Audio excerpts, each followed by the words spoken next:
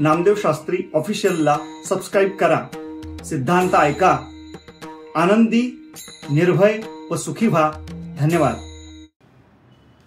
अर्थ लक्षात ठेवा काय बोलत. ज्ञानोबारांनी तर एवढी सुंदर उपमा दिली आहे. जगात कोणी उपमा दिली नसेल. आनंद सरोवरीची कमळे तैसे तुझे डोळे.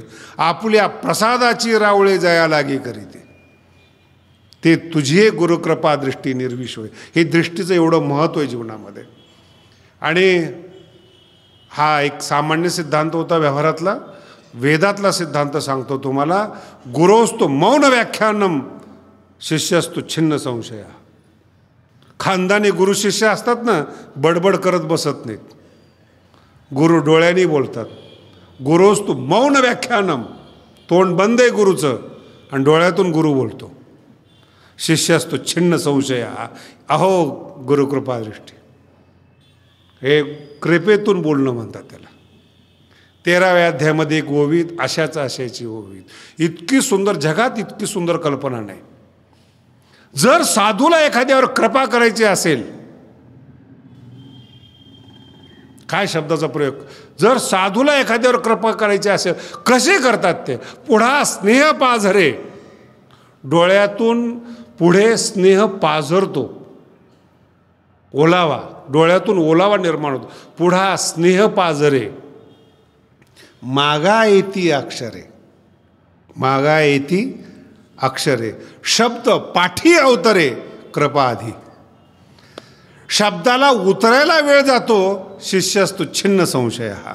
शिष्य कृतार्थ होऊन जातो शब्दाची सुद्धा गरज लागत नाही त्याला. हे परमार्थ आहे. नाही तर दिवसभर गुरु शिष्य बडबड करतात. ब्रह्मसत्यम काय शिकवले आपल्याला ज्ञानोबरांनी काय सांगितले समाधिबोधे निजविषयी भुजावणी म्हणून साधका तू माऊली. पिके सारस्वत. सारस्वत शब्दाचा अर्थ शरीर सरस्वतीपासून उत्प सगळ्या वस्तू. रसात्मक असेल वक्तृत्वात्मक असेल तुझ्या पाऊली म्हणजे दृष्टीमध्ये दृष्टीच्या जमिनीमध्ये सारस्वत पिके. सारस्वत म्हणजे विद्वत्ता वक्तृत्वता रसिकत्व हे दृष्टीमध्ये पिकलं जातं याचा प्रत्यक्ष पुरावा म्हणजे जगद्गुरु तुकोबर आहेत. जगद्गुरु तुकोबर प्रत्यक्ष पुरावा. सगळे लोक आजपर्यंत शिकलेले आहेत चारशे वर्षामध्ये अभंग नाही लिहू शकलेले. कोणाची ताकद नाही कुठल्या कवितेची ताकद नाही जगद्गुरु तुकोबरायच्या अभंगाची. त्यांना विचारा हे कसं काय आहेत? गुरुकृपेमुळे. दृष्टीमुळे. माऊलीने पाहिलं माझ्याकडे. तुका म्हणे तुम्ही उदार शृंगारिले बाळ कौतुके. तो शृंगार म्हणजे वाणीचा शृंगार. आणि या जगातली सगळ्यात श्रेष्ठ असेल तर वाणी असेल. तिथेच सगळे आहेत. अर्जुनचाच काय? अर्जुन म्हणजे काय? मला विश्वरूप दाखव. वाणीतून बोलला ना. ज्ञानाबरा म्हणतात वाचेचे हान लळे पाळीत असे. तोंडातून निघालेला शब्द वाणीचा लाड करतात वाणीचा लाड. हा नवीन शब्द आहे. माणसाचा लाड नाहीत अर्जुनाचा कोणता लाड आहेत? वाचेचे हन लळे वाचेचा लाड भगवंत करतात. वाणीचा लाड. वाणी शृंगार दिला त्याने. वाणीला आनंद म्हणून कुठं गेलेले आहेत? त्यावेळेस युनिव्हर्सिटी होती का? तुकोबऱ्यांच्या काळामध्ये. अहो आता तरी तुम्ही भाग्यवान आहेत वर्तमानपत्र वाचायला मिळत आहेत लोकांनी केलेले पाप तुमच्या घरात येऊन पडतात. अक्षर ओळख झालेली आहेत. शाळा तयार काय चारशे वर्षापूर्वी अवस्था होती? इंग्रजाच्या पूर्वी एक माणूस नव्हता. पत्र वाचणारा हा गावातला सगळ्यात मोठा विद्वान. आणि पत्र वाचून घ्यायचं असेल तर जाताना दूध घेऊन जावं लागायचं. मग तो म्हणायचा मला आता वेळ नाही नाही दूध आणलेलं आहे. ठेव दूध मग सांगतो तुला. पत्र लिहायला गावात माणूस नसायचा वाचायला माणूस नसायचा. कुणाकडून तरी लिहून घ्यावं लागायचं कुणाकडून तरी वाचून घ्यावं लागायचं. आणि त्या अशा काळामध्ये जगद्गुरु तुकोबाराच्या काळामध्ये अभंग लिहायला येणं रसिकत्व येणं वाणी प्रसन्न होणं हे सामान्य पिके सारस्वत तुझी या पाऊली. माऊली गुरुकृपादृष्टीची ताकद एवढी रे रसिकत्व आहे वक्तृत्व आहे विद्वत्ता आहे सिद्धांत आहेत. तुझ्या चरणातून पिके. पिके याच्यावर सुद्धा एक नवीन विश्लेषण आहे कच्चेपणा नाही आहे कुठे. एखादा माणूस नवीन नवीन शिकलेला असतो लोक म्हणतात चांगला बोलतो बरं का पण प्रयत्न कर अजून. म्हणजे पिकलेला नाही. तो गोबाऱ्या म्हणतात पिकलिया सेंद पिके सारस्वत तुझी पाऊली. पिक म्हणजे शब्द हे पिकलेले असावेत. सुगंध असावा त्याच्यामध्ये आत्मानुभवाचा आणि सिद्धांत पिकलेले असावेत. पिके सारस्वत तुझ्या पाऊली. या कारणे मी सावली नसंडी तुझी. अहो गुरु पुन्हा तीच ओवी. हलो सद्गुरूची आहे गुरु कृपा दृष्टी. दृष्टी शब्द विसरू नका. अहो सद्गुरूची आहे गुरुकृपा दृष्टी तुझे कारुण्य जया ते अधिष्ठी. तुझं प्रेम तुझी दया जया ते अधिष्ठी. श्री गुरुदेव तुमची दृष्टी ज्याच्यावर पडते सकळ विद्येच्या सृष्टी धात्रा होय. विद्या जन्माला आणणारा तो ब्रह्मदेव होतो. रामम रामम म्हणायची गरज पडत नाही मग. लक्षात येते तुम्हाला? सकळ विधीच्या सृष्टी धात्रा म्हणजे ब्रह्मदेव. दृष्टी ब ज्ञानोबराने जर आपल्याकडं नुसती कृपा केली अंगी ऐसे बळ रेडा बोले आपण तर माणसं आहेत. पण त्या दृष्टीची ताकद दृष्टीची क्षमता सकळ विद्येच्या सृष्टी धात्रा होय. म्हणून आंबे श्री म्हणते. तिकडं बसा. चला. काय लावलं शब्द नीट आहे का? काय बोललो तुम्हाला? म्हणून आंबे श्रीमंते आंबे श्रीमंते निज जन कल्पलते. स्वतःसाठी कल्प तरू कल्पलता निज जन कल्पलते. तू कल्प तरू आहेस कल्पलता आहेस. आज्ञापी माते ग्रंथ निरूपणी. हा एवढा मोठा सिद्धांत आहे ज्ञानोबरायांचा कायम लक्षात ठेवा. सतत पहिल्या अध्यायापासून शेवटच्या अध्यायापर्यंत गुरुच्या तोंडातून शब्द यायला अज्ञापी माते ग्रंथ निरूपणी. मला ग्रंथ निरूपण करायची आज्ञा कर. ग्रंथ ज्ञानोबरायासारखे अंगी वेडा बोले.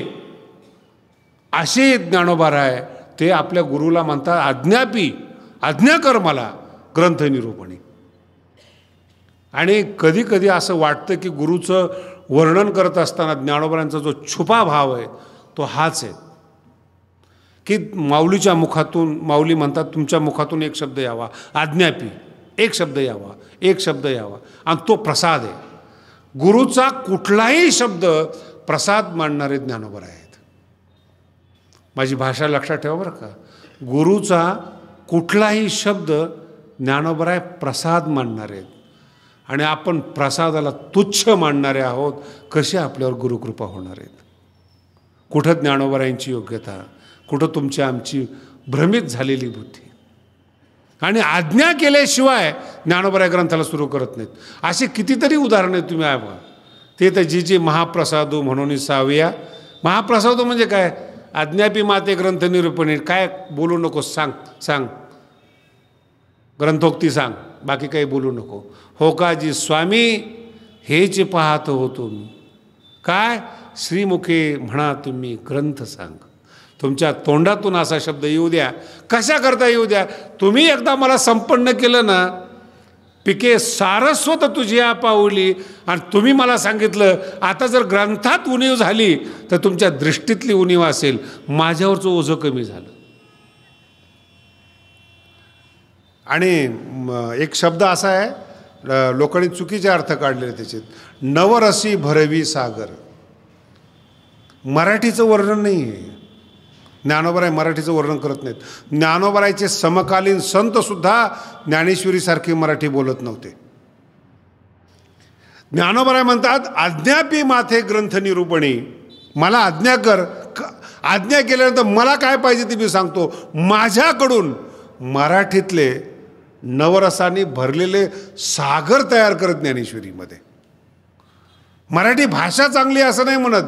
ज्ञानेश्वरीमध्ये माझ्यामार्फत नवरसी भरवी आज्ञा आहे. सागर. ज्ञानेश्वरी नवरसाने भरलेल्या नद्या नाही आहेत सागर आहेत नवरसाचे. नवरसी भरवी सागरू करवी उचित रत्नाचे आगर. भावार्थाचे गिरेवरी भाव आणि अर्थ फार वेगळा अर्थ आहे मतितार्थ म्हणतात त्याला. गिरीवर डोंगर निफजवी माय एक एक ओवी कळण्याकरता कधी कधी तीन तीन वर्ष त्या ओवीबरोबर झगडावं लागतं. ह्याला म्हणतात भावार्थाचा गिरीवर डोंगर चढण्यासाठी. भावार्थाचे गिरीवर निफजवी माझ्याकडून उत्पन्न करव. भावार्थाचे गिरीवर निफजवी माय साहित्य सोनियाची खाणी. आता जर जास्त विवरण केलं तर बाराव्या देवर अन्याय होईल. मुख्य म्हणजे आपली आई आहे. आणि गुरुकृपादृष्टीला आई मानून कशा पद्धतीने ज्ञानोबाने रूपक केलं ते जास्त महत्त्वाचं आहे. आणि यातला अंतिम शब्द बाराव्या अध्यायाचा कधी लक्षात ठेवा कोणत्याही माणसाला निर्दोष वर्णन करता येत नाही. जर निर्दोष वर्णन करायची ताकद असेल भगवंतानी संतांनी आपल्यावर कृपा करावी तर तुमचं वक्तृत्व विद्वन मान्य होईल.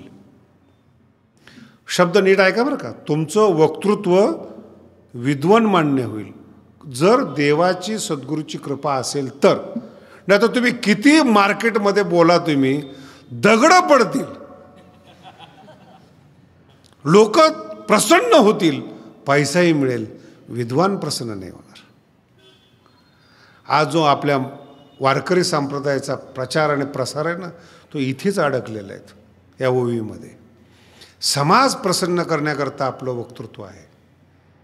समाज प्रसन्न होतो. दुखी समाज काय देणार आहे तुम्हाला? दुष्काळाने होरपलेला समाज गरिबीत जगणारा समाज. मला तर काय काय लोकांचं मी टीका करतो असं समजू नका. मला कौतुक वाटतं. तर माझं जरा वय होत आलं त्यामुळे मी कीर्तनं बंद केले जाणून बसून. की जास्तीत जास्त ज्ञानेश्वरी आपल्याला चाखायला मिळावी. कारण की माणूस जसं जसं पिकत जातो ना ओव्या चांगल्या कळत जातात. आणि ओव्या कळाव्या म्हणून आपल्याला एकांत पाहिजे. हा माझा हेतू. पण पाच पाच कीर्तनं चार चार कीर्तनं करतात त्यांचं एवढं कौतुक वाटतं की देवाने कशी ताकद दिली असेल यांना अहो सहा तास आठ तास दिवसभरात बोलायचं? एक कातड आहे का काय आहे ते? शरीर? कशी ताकद असेल? तर मी एखादा विचारलो का आठ आठ तास तुम्ही बोलतात. नाही बोललं तर अंग दुखतं म्हणे.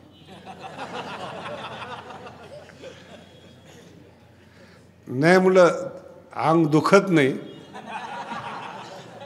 ही भगवंताने केलेली शिक्षा आहे. परमार्थाचा आनंद मिळत नाही महाराज. तुम्ही जे कमवलं परमार्थामध्ये तुम्हालाच आस्वाद मिळत नाही. समाज प्रसन्न होतो. नाही अर्थ कळाला. माऊली प्रसन्न नाही होत. म्हणून प्रवचन सुरुवात करतानाच सांगितलं मी आपण आळंदीत येताना माऊलीच्या प्रसन्नतेसाठी येतो. आणि बाराव्या अध्यायाचं नमन असं आहे की गुरुकृपा दृष्टी प्रसन्न पाहिजे. तर काय होईल? तुमच्या वाणीमध्ये पुरतेपणा येईल पूर्णपणा येईल. तुम्ही जे बोलाल ते विद्वान मान्य होईल. ओव्या ऐका श्रीकृष्ण गुणी माते श्रीकृष्णाच्या गुणवर्णनामध्ये श्रीकृष्ण गुणी माते मला सर्वत्र करी हो सरते. सर्वांगीण कृष्णाचं वर्णन करण्यामध्ये सर्त कर म्हणजे मान्य कर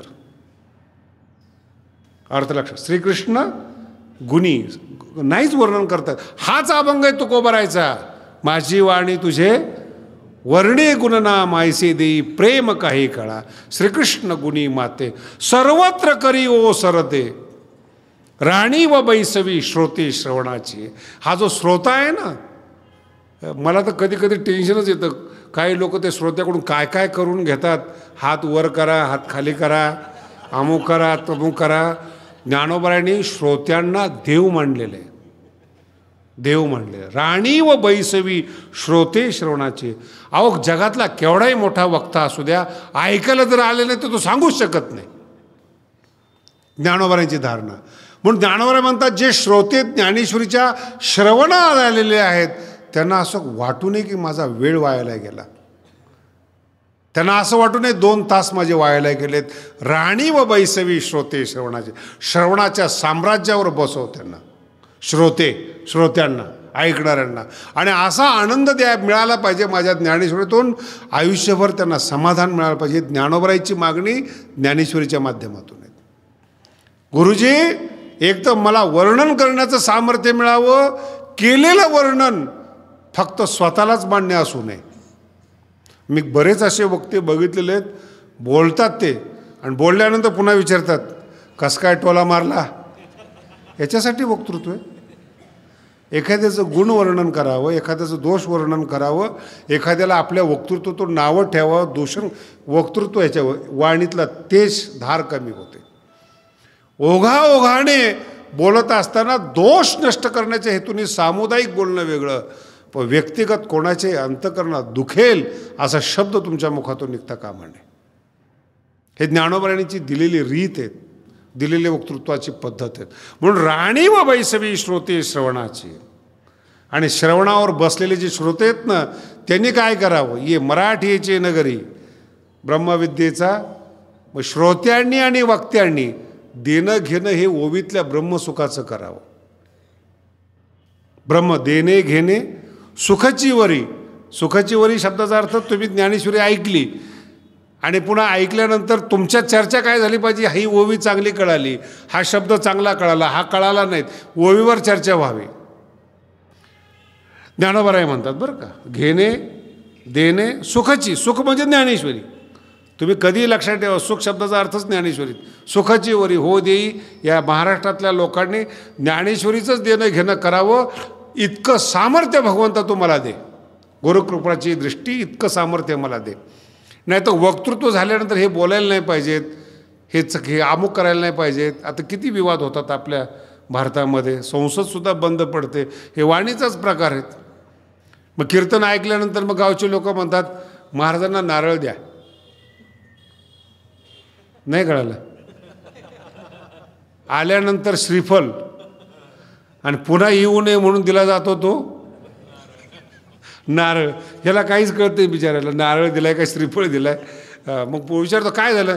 नाही मागच्या वर्षी तुम्ही असं बोलायला नव्हतं पाहिजे. जरा लागलं. वाणी धारधार आहे वाणीची किंमत आहेत.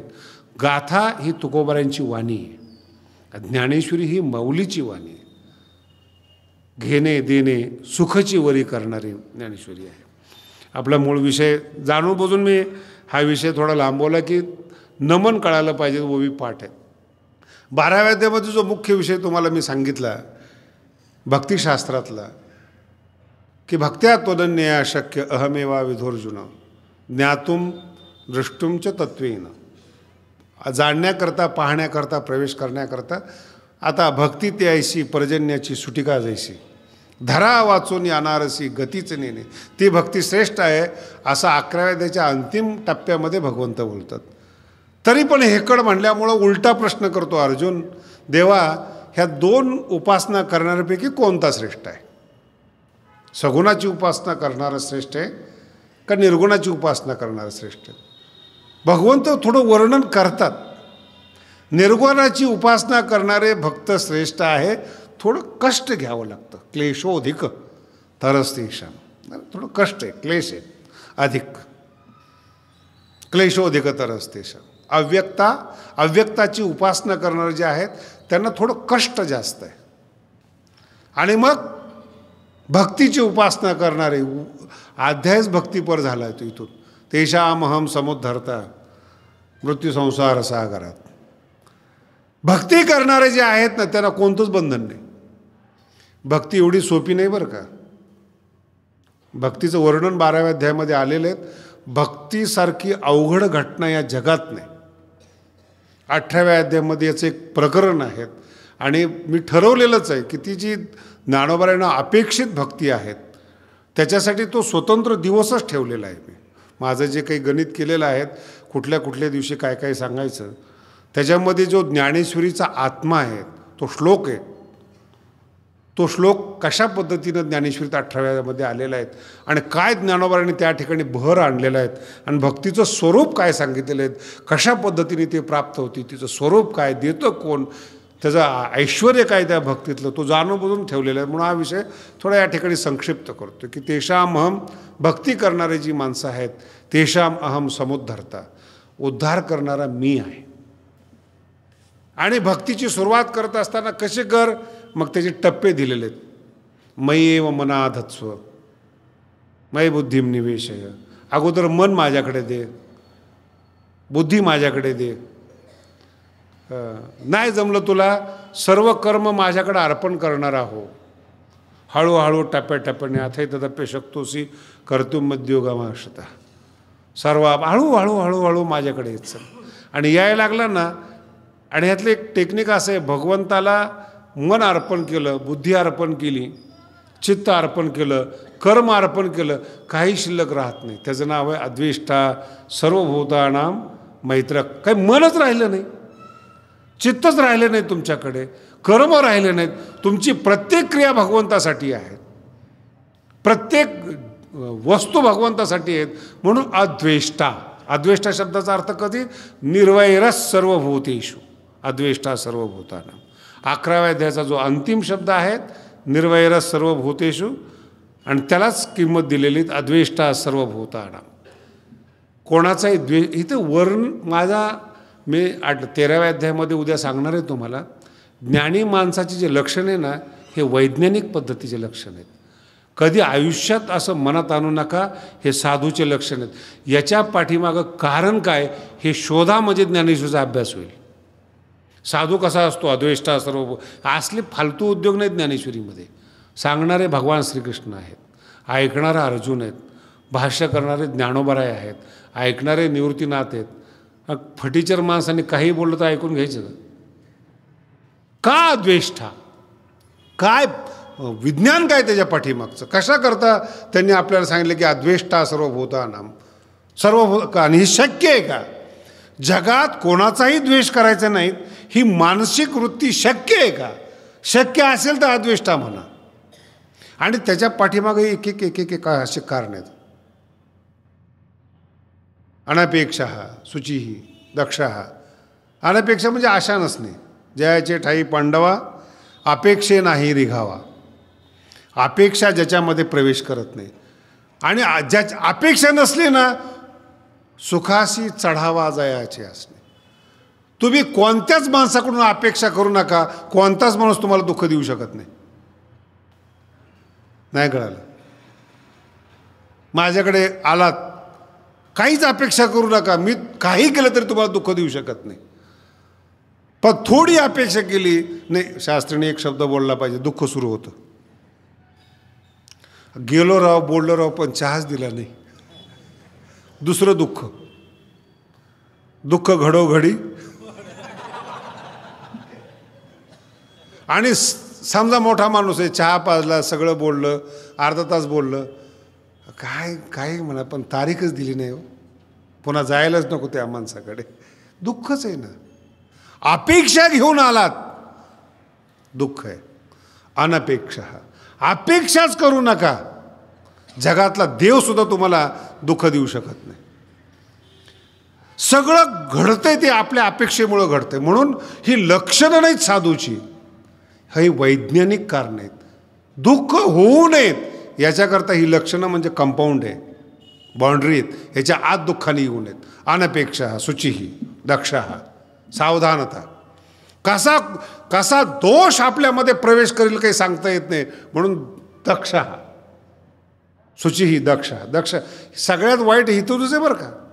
वाईट माणसं पहिल्यांदा भेटतात तेव्हा सगळ्यात जास्त गोड बोलतात. हे पहिलं लक्षण आहे बरं का. चांगला माणूस कशाला गोड बोलवलं तुमच्यासारख्या मूर्खांना? त्याचं काही देणं घेणं पडले? मोठ्या माणसाकडे जा तुम्ही एखाद्या विद्वानाकडे. बोलणारच नाही तो तुम्हाला. वाईट माणूस पहिल्यांदा तुमच्याशी गोड बोलतो. आणि गोड बोलला तुम्हाला की माणूस भाळतो. नाही कळालं अजून. हे जेवढ्या बँका आहेत डबल पैसे होतील. टिबल पैसे होतील अमुक होईल. हजारो करोडो रो रुपये बुडाले. गोड बोलल्यामुळंच ना. गोड बोलणारा माणूस हा धोकेदायक असतो. म्हणून तो वारकरी संप्रदायात आमच्याकडे लोक येत नाहीत हो. इतर तुम्ही साधूकडे जा बरं. जा बेटा तेरा कल्याण हो. हा संसाराचा मालक आहे का? प्रवचनात सांगताना ऐकलेत माझ्यामुळे याला मुलगा झाला आहे माझ्यामुळे ह्याला नोकरी लागली. काय की खा कारखाना आहे तू? साधू का काय तू? या असल्या फालतू उद्योग. आणि प्रवचनातून सामुदायिक पद्धतीने सांगतात लोक. तीन महिन्यात डबल सहा महिन्यात डबल सोनं स्वच्छ करून देतो. अरे हे काय? आहे दक्षता नाही आहे तुमच्या जीवनामध्ये. हे शक्य आहे जीवनामध्ये? कसं घडू शकतं जीवनामध्ये? हे दक्षात म्हणून गोड बोललं की माणूस समाप्त होतो. साधू गोड बोलत नाहीत. आणि जेवढे तीर्थक्षेत्र भारतात प्रसिद्ध आहेत ना सगळे साधू चमत्कार करणारे आहेत. सगळे साधू चमत्कार करण्याचं आश्वासन देतात. आणि आमचा कीर्तनकार म्हणतो संसार दुःख कसं कीर्तन राहायला येतील लोक? हिंदी सायडरचे लोक बाकीचे लोक संसार सुखाचा होईल असं आश्वासन देतात. आणि त्यांना विचारलं नाही झालं तर केस करणार आहे का? एखाद्या साधूने सांगितलं तुम्हाला मुलगा होईल नाही झालं समजा. काय केस करणार त्याच्यावर? माझा अर्थ लक्षात ठेवा तुम्ही. सत्य सांगणारा वारकरी संप्रदाय संसार दुःख मूळ कोणाचाच संसार सुखी होत नाही. इतकं कडवट सत्य ज्ञानोवराय तुकोबर आहे सांगू शकतात. पृथ्वीवर जन्माला यायचं साधू खरं सांगणार लक्षात ठेवा.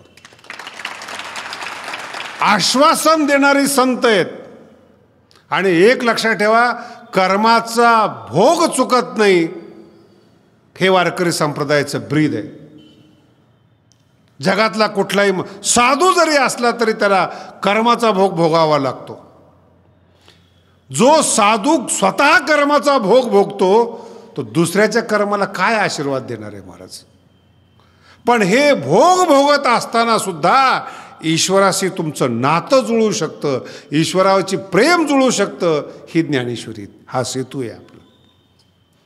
जगणं एका बाजूला आहेत प्रारब्धानुसार कर्मानुसार आणि अंतकरणाची लय एका बाजूला आहेत.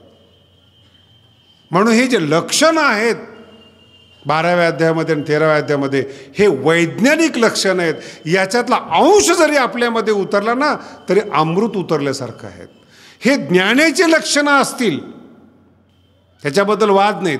पण त्याचा अभ्यास करताना अंश आपल्यामध्ये उतरायला पाहिजेत. तो अंश तुम्हाला मोठा करतो. तो अंश तुम्हाला महान बनवतो. नामदेव शास्त्री ऑफिशियलला सबस्क्राईब करा. सिद्धांत ऐका. आनंदी निर्भय व सुखी व्हा. धन्यवाद.